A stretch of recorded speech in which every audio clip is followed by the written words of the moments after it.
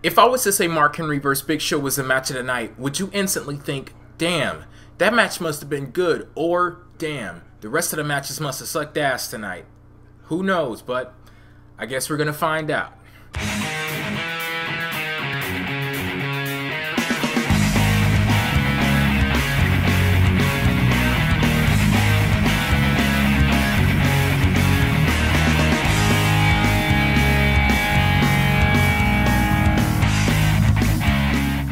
What's up people, J Dub here with my 2011 WWE Vengeance review video. Going to be giving you guys match results, highlights of the night, and also my thoughts and opinions on everything that occurred at this show. We had a lot of big moments, so make sure you stay tuned. Also, make sure you rate this video thumbs up, and if you haven't subscribed already, go ahead and click that subscribe button up there. Thanks. First match of the night was the Tag Team Championship bout, Dolph Ziggler and Jack Swagger versus Air Boom. The live crowd was hot and cold for this match, but I was with it from the beginning. Kofi Kingston and Evan Bourne, their characters are kind of bland for me and they leave a lot to be desired as far as I'm concerned but they for damn sure can hold their own when it comes to them and their in-ring ability. Their styles mesh so well together and they had some great double team moves in their arsenal tonight and that's what led to them retaining their titles after a melee of some good back and forth action, Ziggler gets the roll up on Kingston and he had his tights in the process, but Kofi kicks out of that. He hits him with the Trouble in Paradise, gets a tag in on Bourne. He goes up top, hits Ziggler with the Airborne, and the match is over in a matter of seconds. Really enjoyed this match. Got the night started off on a great note with some fast paced rapid fire action and a great outing from both teams.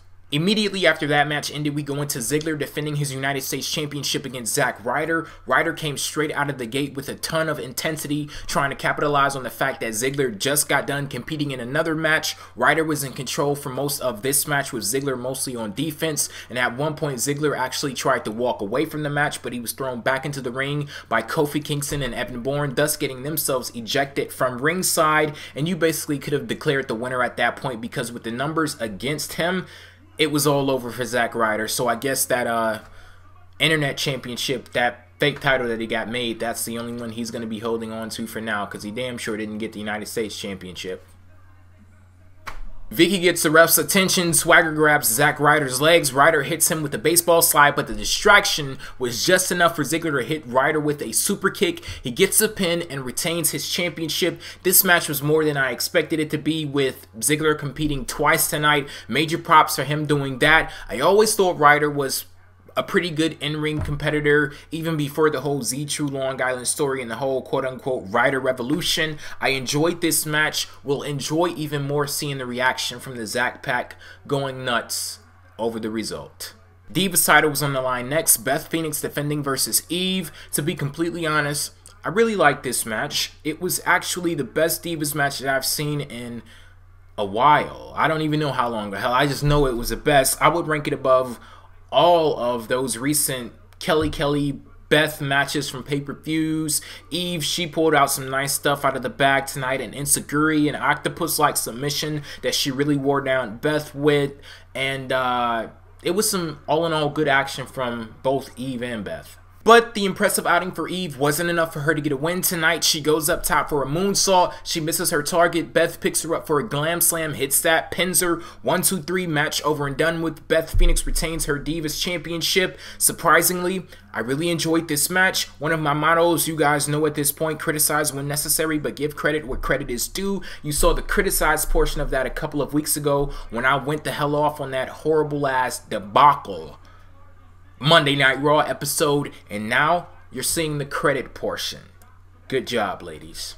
Next up, a match that featured two great competitors and members of my personal fave 5, Christian and Sheamus. This match was a bit too slow in parts for my liking, but a solid match nonetheless. My two favorite spots of the match started out in a very similar way, but had completely different results. At one point in the match, Sheamus goes for a bro kick, but Christian, to avoid it, simultaneously goes for a spear, which he connects with, and then goes for a pin. After Sheamus kicks out, he battles himself back into control before Christian ends up hitting him with the Hurricanrana from the top rope. Christian, he's winding up and he's setting up Sheamus for that spear. He's in the corner and he's you know, winding up, you know, so he goes charging at Sheamus to hit the spear, but Sheamus ends up hitting him with a bro kick, and Sheamus ends up coming out on the winning end of that exchange, and he gets a pin on Christian and wins the match also.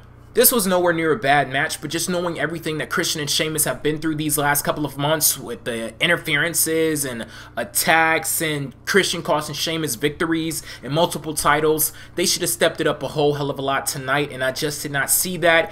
Good just wasn't good enough in this case, especially knowing the circumstances and frankly, knowing that both guys are capable of a lot more. So, with all of that being said, I thought this match was okay with me being such big fans of both guys, I wish I could say a lot more than just okay, but sadly, that's all I got tonight. Triple H and CM Punk versus Miz and R-Truth was up next. Punk and Triple H actually worked very well as partners tonight. There was no leftover tension whatsoever. If they had decided to go in that direction, it definitely would have added a very interesting layer to the match but they chose to avoid that area completely. At several points during the match, they were being a bit heelish and helping the other play dirty while the ref wasn't looking. And Triple H, man, he took a whole hell of a lot of abuse from The Miz and R-Truth in this match. I would definitely say he was on the receiving end of attacks from The Miz and Truth way more than Punk was tonight.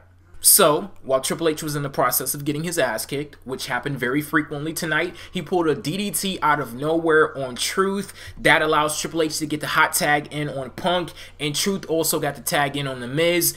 Punk comes in the ring, he clears house, then Triple H ends up getting R-Truth outside of the ring. He throws R-Truth over into the area where the timekeeper, the dude that rings the bell, and the announcer, where all of them sit. Then out of nowhere, Kevin Nash appears. Bam, he clocks Triple H. Triple H is laid out. Meanwhile, in the ring, Punk has Miz set up for the GTS, but R-Truth, because of the distraction from Kevin Nash, he's able to jump back into the ring looking out for his partner. He ends up attacking Punk, and then both guys hit CM Punk with their little Jimmy finale, which is a combination of both of their finishers at the same time. Love the move, hate the name, just like I hated that segment earlier on in the night with Miz and Truth arguing about who's the bigger suck up. Like they're standing backstage and they're, oh, I'm the bigger suck up. No, I'm the bigger suck up. No, I'm the bigger suck up. It sounded like two big fucking kids. And all that I could think. Are you fucking serious? Really? Really? Really?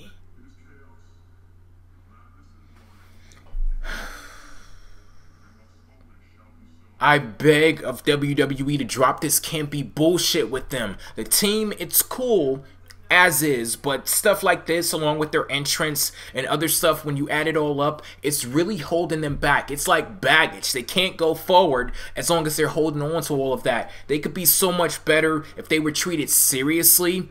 And like, I look at Hell in a Cell and I see on that night what they were and if they continue on in that same direction, the potential of what they can become.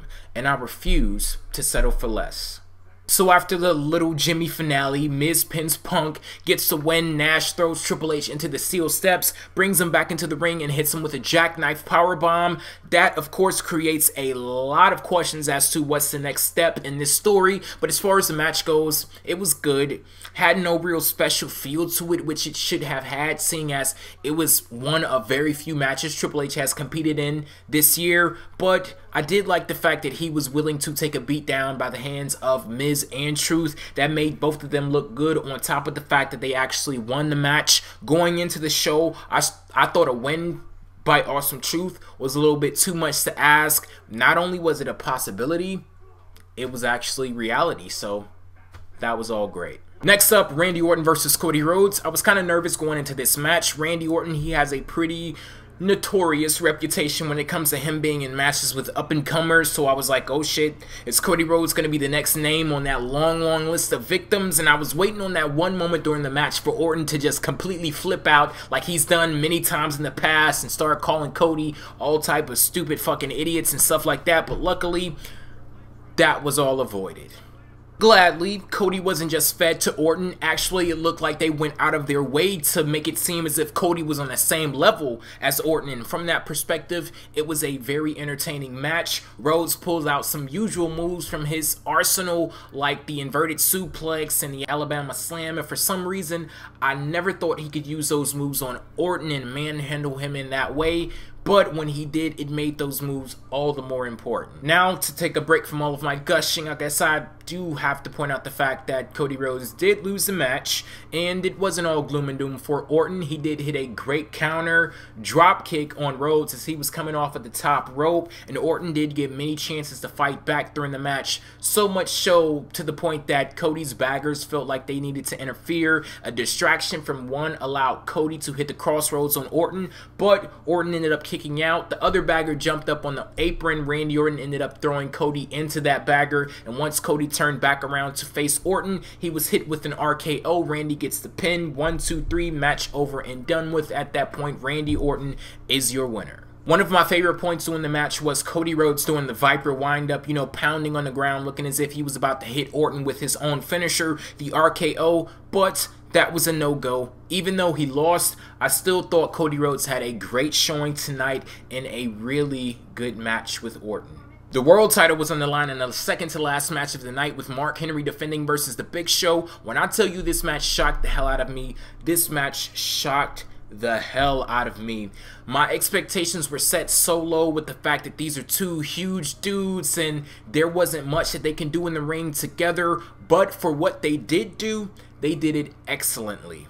I was kind of pissed when Big Show was just embarrassing Mark Henry early on in the match, but things started to even up and it really got good. This was an all-out battle of epic proportions. It kind of reminded me of that uh that old show from Discovery Channel, um, Animal Face Off, where you have computer-generated battles between like elephant and the rhinoceros and the polar bear versus the the walrus. But this was live and in color, and the shit was good. I'm telling you it was good. Big Show laid out Henry with the scoop slam, then started setting up for the choke slam. He hit it, went for the pin, and I was like, damn, this can't be it, but they're not going to be out here for that long, so it's over. And I'm like, fuck. But it wasn't over because Mark Henry kicked out. The Big Show, nearing the point of frustration, he decides to resort to that knockout punch, but Henry ends up countering that, hit him with the world's strongest slam, pins him. Once again, thought the match is over. I'm like, yes. Then Big Show kicks out, and I'm like, no, the match continues.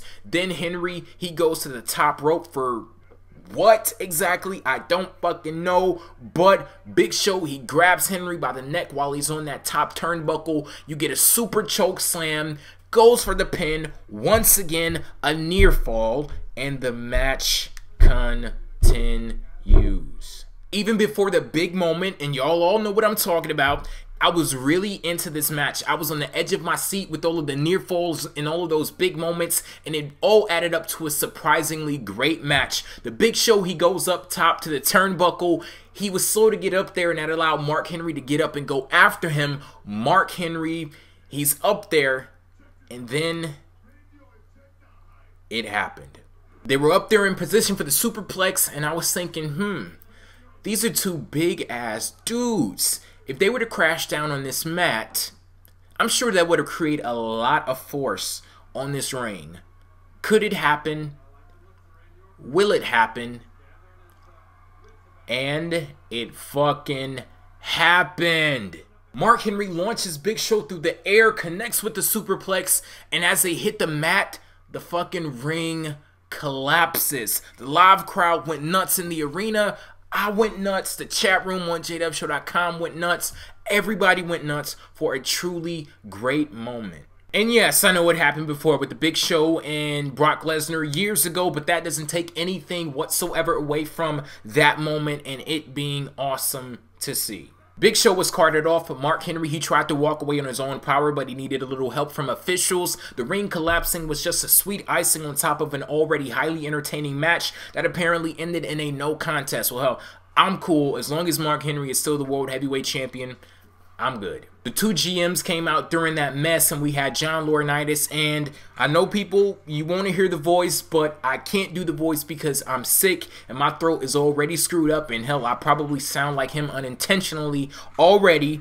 But I digress. He announces that the show will go on even with the collapsed ring, so that moves us to our main event. John Cena versus the WWE Champion Alberto Del Rio with the title on the line in a last man standing match. They spent about the first 10 minutes of the match in the ring and they were doing well, all things considered, seeing as the whole damn ring was like lopsided. Both competitors actually used the broken ring to their advantage at different points. Del Rio placing Cena under one of the uh, ring posts that was turned into the ring, like he placed them under there, then stomped down on it, basically driving that ring post into Cena's chest. Then later on, Cena hit Del Rio with a drop toe hold, and he face planted on that same ring post. They worked their way out of the ring into the backstage area and they had some great action back there, incorporating pieces of the set into the match. Like Del Rio, he threw like a bunch of gates down on John Cena, but of course, John Cena fought through all of that. He got back up and the match continued. They make their way back into the main portion of the arena. Del Rio throws John Cena through this big ass V that was a part of the set decoration. Then Del Rio, he starts climbing up another part of the set, but John Cena, he gets up, he yanks him down, and he slams him through a table. They make their way back to the ringside. Cena sets up the steel steps and drops Del Rio with an attitude adjustment through the Spanish announce table. Before the ref even begins to count on Del Rio, R-Truth and The Miz, they run out and attack John Cena who was in the ring. Then the ref begins to count when both dudes were down and out, but Del Rio gets up first, then Cena. That's when Del Rio ran into the ring and attacked John Cena with the WWE Championship, and he was out for the count. And did anybody notice how when Del Rio attacked John Cena, he rolled out of the ring and like collapsed near the barricade? There were actually fans picking him up to help him get to his damn feet. That was fucking hilarious. But uh yeah, at that point it was all up to John Cena, but he could not answer the 10 count and he ended up losing the match. Alberto Del Rio wins and retains his WWE Championship in what was a very entertaining match with a whole hell of a lot of cool spots to choose from when it comes to determining which one was the best of the night. And I can say that um, during this show, my predictions were fucking horrible. I maybe got a, uh, let's see, which ones did I get right? I got absolutely obvious ones: Sheamus and Beth Phoenix. Mark Henry, I guess that one doesn't count that that was like a, a, a, no contest. But those are technically the only ones I got right: Beth Phoenix and Sheamus. But uh, the show, regardless, if my predictions sucked, the show was actually really good. I think the thing with Vengeance for me is it kind of snuck up on me. Like we've been so oversaturated with WWE pay per views recently, so that caused me to uh, look at Vengeance as an afterthought you know, that's that was my thought on Vengeance going into the show. It was an afterthought, but you know, with my expectations being lower, that actually led me to being uh, very surprised and pleased with this show. So after all was said and done, you know, turned out pretty well for me. The matches that I thought weren't gonna deliver really shot the hell out of me. They had a whole hell of a lot to offer to this show, and yeah, I will say, Mark Henry versus a Big Show was the match of the night. Not because any other match sucked, just because that one was so damn good. And I have no problem saying that whatsoever. So that's it for me in this video. I would say Vengeance is one of uh, WWE's best pay-per-views of the year. Not actually the best. I think those maybe two or three spots are filled already. But, you know, it's up there it's definitely up there. So let me know what you guys think about Vengeance down in the comment section below. Thank you guys for watching this video. I am J Dub. Peace out.